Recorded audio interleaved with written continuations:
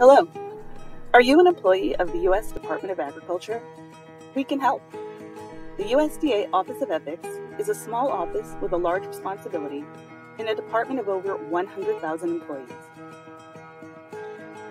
Whether you're working to protect our soil and forests, making sure school kids have nutritious lunches each day, conducting research to solve agricultural problems, or serving the American public in any of the myriad ways we do at USDA, the Office of Ethics is here to help you navigate ethics laws.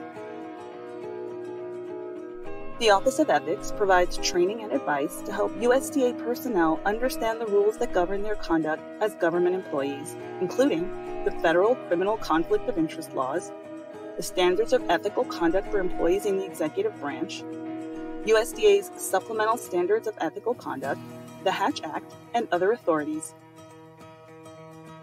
We also review more than 15,000 financial disclosure reports each year to increase employee awareness of potential conflicts of interest that need resolution.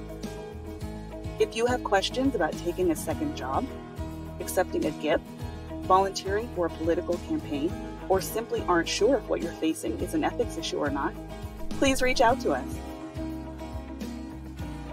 We are available by phone or email, and you can find our contact info on our website at usda.gov/oe.